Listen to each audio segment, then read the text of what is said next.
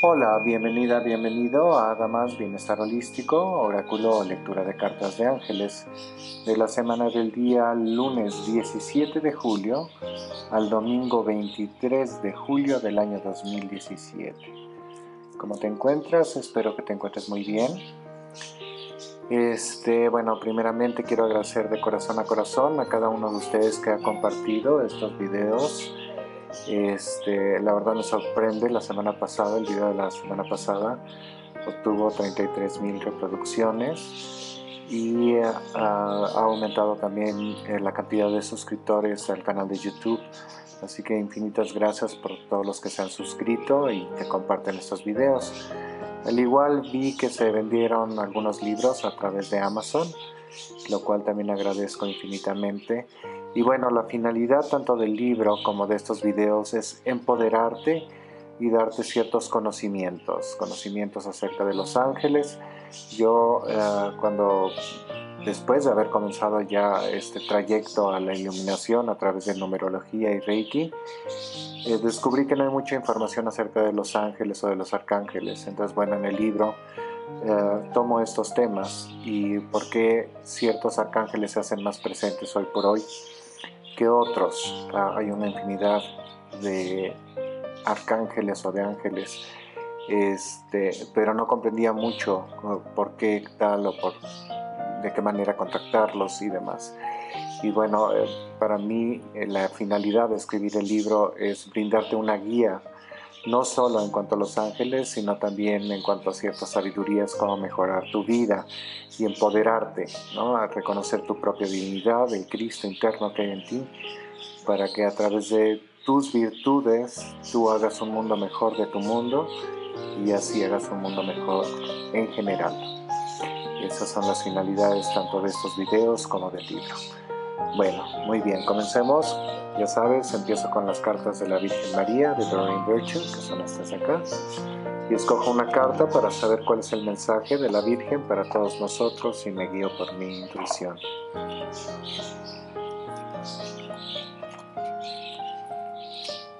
Escojo esta carta.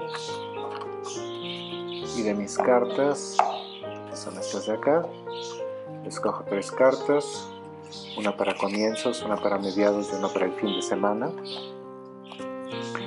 Y mientras voy escogiendo las cartas, también quería comentarles eh, si entre alguno de ustedes eh, que está viendo este video hay alguien que tenga una galería de arte o conozca a alguien que tenga una galería de arte, pues me gustaría exponer mis cuadros. Este, son algunos óleos y eh, voy a poner la liga aquí en este video para mostrar algunos cuadros, son como 12 cuadros que tengo. Y bueno me interesa aquí en México, si se puede de hecho en la Ciudad de México.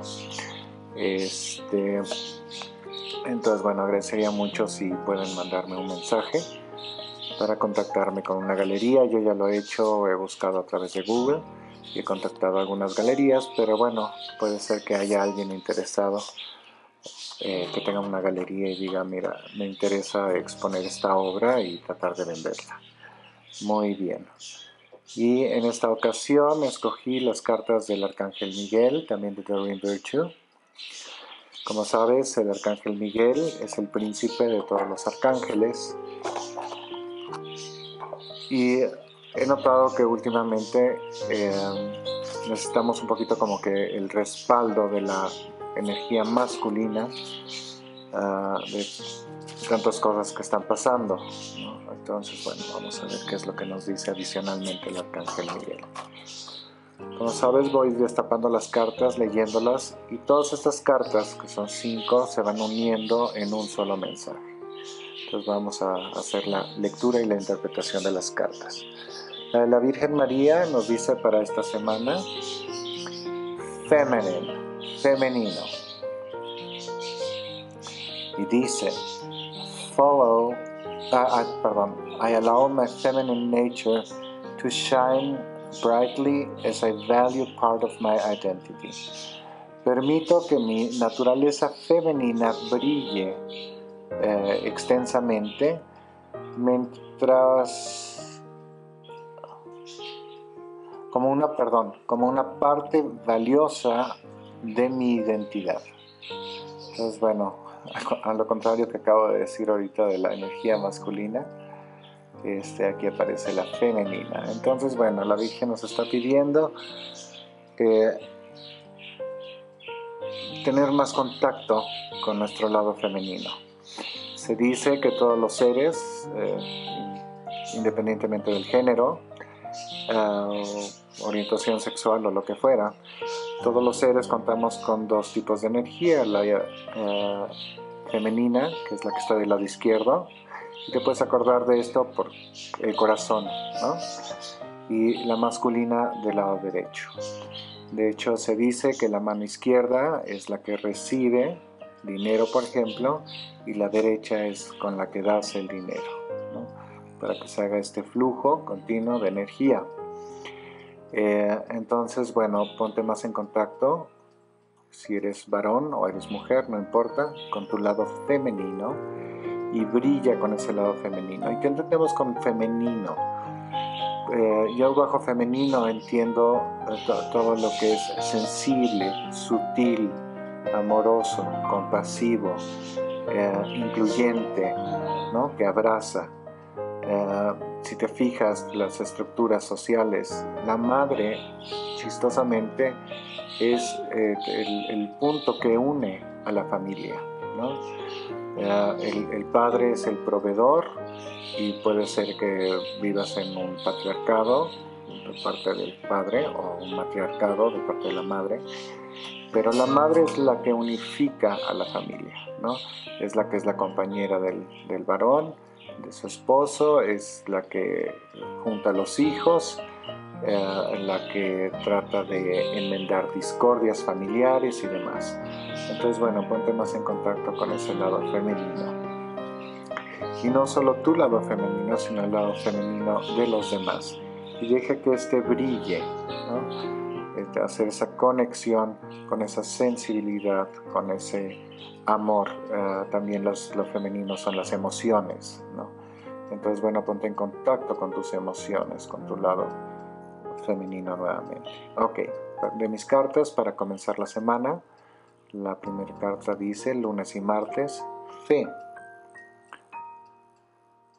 Y dice lo siguiente, Arcángel Miguel.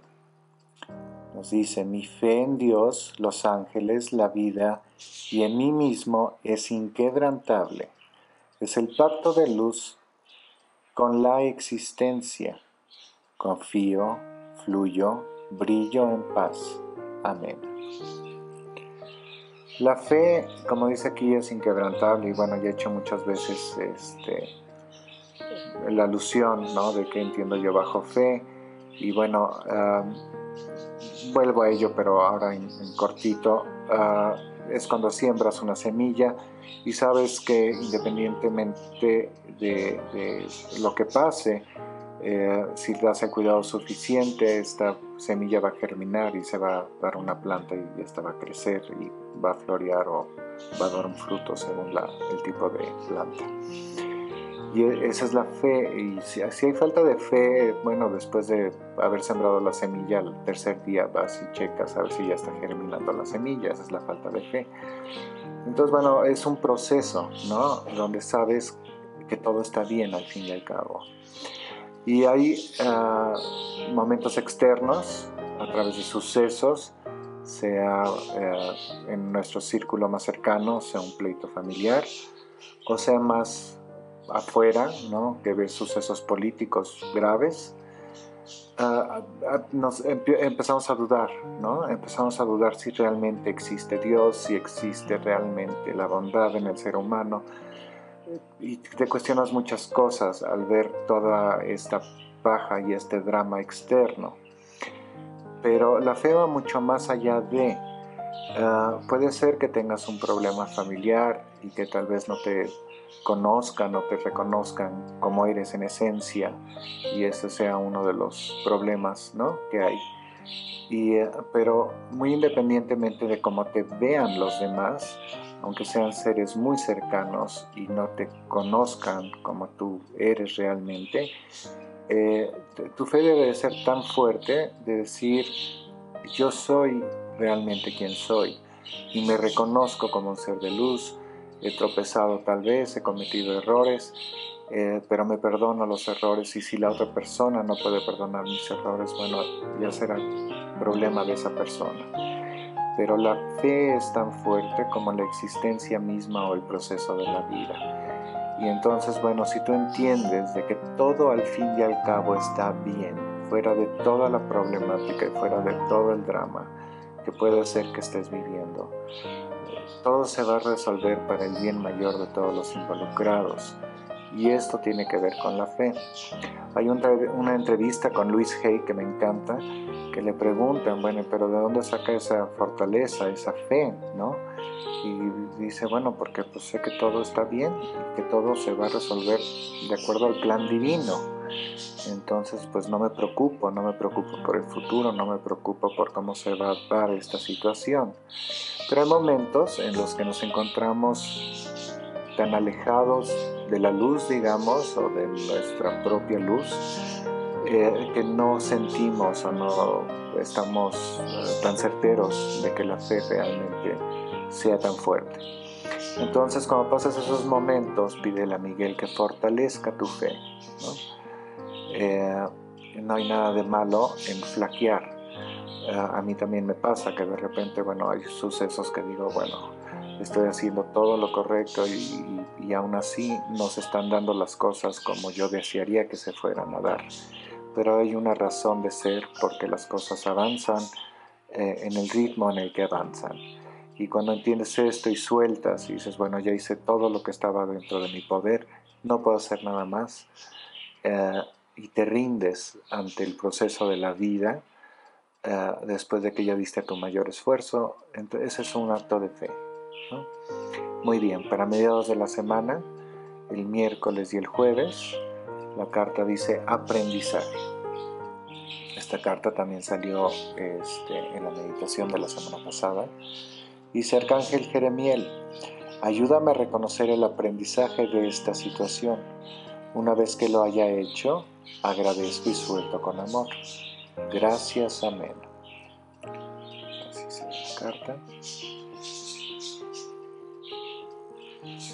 Y bueno, eh, como dice la carta, ¿no? Una vez que soltamos, eh, reconocemos, tal vez después de un tiempo, dónde está el aprendizaje de la situación que acabamos de pasar. Entonces, bueno, Jeremiel, como sabes, es el arcángel que yo cariñosamente le digo el arcángel contador. Y es el que nos pide muchas veces que hagamos un alto y volteemos hacia atrás, el pasado, y revisemos nuestra vida, nuestro trayecto y pensemos un poquito en el futuro, qué es lo que nos gustaría hacer o qué es lo que nos gustaría que pasara, pero vivir el presente, ¿no? Y de ahí calmadamente, con serenidad, con amor hacia ti mismo y hacia los demás, sacar la conclusión de, ok, este es el aprendizaje de esta situación. Ya entendí ya no es necesario volver a repetir esta experiencia y por lo mismo este, avanzo. Ya completé este ciclo, ya terminé este ciclo y ahora comienza uno nuevo. Entonces bueno, ese se da cuenta del aprendizaje. Para el viernes, sábado y domingo, la carta dice oraciones contestadas. Y bueno, independientemente de lo que diga la carta, pero obviamente va en contexto, ah, nos están reiterando que nuestras oraciones son contestadas. Y es el arcángel Gabriel, que es el arcángel de la comunicación.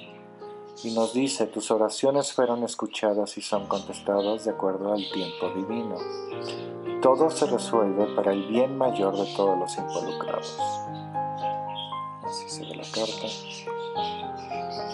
Entonces, bueno, como sabes, no hay casualidades, sino causalidades. Y a mí se me hace muy fuerte el mensaje porque está como muy reiterante, ¿no? A través de nuestro lado sensible, de nuestro lado femenino, el acercarnos más a nuestra fe. Si no nos es posible por nosotros mismos, pedirle a Miguel que fortalezca nuestra fe Y aparte de la fe, Miguel trabaja la fortaleza, ¿no? la fuerza, el poder de que podemos, ¿no? el coraje y la pasión ante la vida. Todo esto trabaja Miguel. Entonces, bueno, a través de esta fe sacamos conclusiones y llegamos, ok, este es el aprendizaje, esto es lo que aprendí de esta situación. Y nos está reiterando Gabriel que nuestras oraciones son contestadas, no solo escuchadas, sino también contestadas, y que todo se resuelve para el bien mayor de todos los involucrados. Y bueno, como mensaje adicional, la carta de Miguel. Muchas felicidades y bendiciones a quienes celebran algo. Esta carta dice, tú creaste esta situación y tienes el poder de cambiarla. Y dice, oración, Gracias por dejarme recargarme en tu fuerza y recordarme mi propio poder personal. Por favor, guíame hacia la manifestación y sanación de acuerdo a la voluntad divina, creando paz y bendiciones para todos los involucrados. Así se ve la carta. Y bueno, como ves hay un unicornio en la imagen, el unicornio representa el poder. Entonces, bueno, nuestras experiencias nosotros nos las escogemos y hay momentos en los que pues no queremos vivir cierta experiencia o cierto pleito o cierta situación, ¿no? Pero hay que ser responsables y si erramos el camino, bueno, eh, enmendar el camino y decir, ok, tropecé. Y eh, de hecho la palabra pecado significa tropiezo, ¿no? Entonces, bueno, si tropezamos, levantarnos, reconocer que tropezamos, que pecamos y cada día es una oportunidad nueva.